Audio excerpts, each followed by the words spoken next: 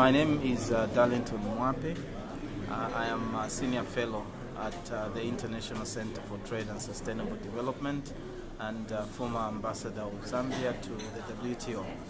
Um, I'm here in, Je- in Nairobi uh, attending the Trade uh, and Development Symposium organized by ICTSD in conjunction with about uh, 47 partners. Um, the TDS is um, uh, a forum that uh, broadens a discussion on trade and sustainable development by bringing uh, issues that are beyond the WTO narrow agenda uh, to broader issues of sustainable development. Now, we are holding this meeting uh, on the margins of uh, the 10th uh, WTO Ministerial Conference, and um, we are keenly following uh, those uh, negotiations.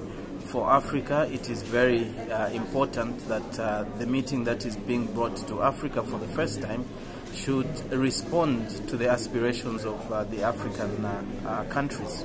Uh, one area that uh, is important uh, for us to uh, see results uh, is in the area of agriculture and specifically on uh, export competition.